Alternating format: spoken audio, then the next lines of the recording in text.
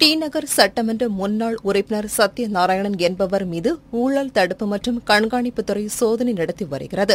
சென்னையில் அவர் சட்டமன்ற உறுப்பினராக இருந்த காலகட்டத்தில் வருமானத்திற்கும் அதிகமான சொத்து குவிப்பு செய்ததாக குற்றச்சாட்டு சம்பந்தமாக வழக்கு பதிவு செய்யப்பட்டுள்ளது.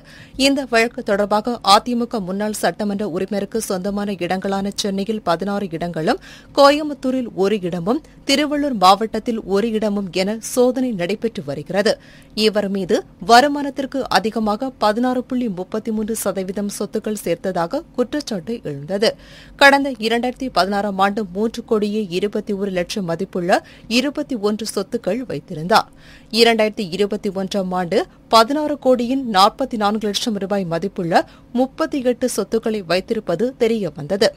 மேலும் இரண்டாயிரத்தி பதினாறு மற்றும் இரண்டாயிரத்தி இருபத்தி ஒன்றாம் ஆண்டு தேர்தலுக்கு விண்ணப்பிக்கும் போது சமர்ப்பித்த சொத்து பட்டியலில் இருந்து லஞ்ச ஒழிப்புத்துறை சொத்துக்கள் மற்றும் மதிப்பை விரைத்து எடுத்து ஆய்வு செய்ததில் இரண்டு கோடியே அறுபத்தி நான்கு லட்சம் ரூபாய் வருமானத்திற்கு அதிகமாக சொத்து சேர்த்ததாக கண்டுபிடிக்கப்பட்டுள்ளதாக லஞ்ச ஒழிப்புத்துறை தெரிவித்துள்ளது. இதேபோல அதிமுக முன்னாள் சட்டமன்ற உறுப்பினர் சத்தியம் மற்றும் அவரது மனைவி மகள்கள் மீதும் சொத்துக்களை குவித்ததாக வழக்கு பதிவு செய்யப்பட்டுள்ளது.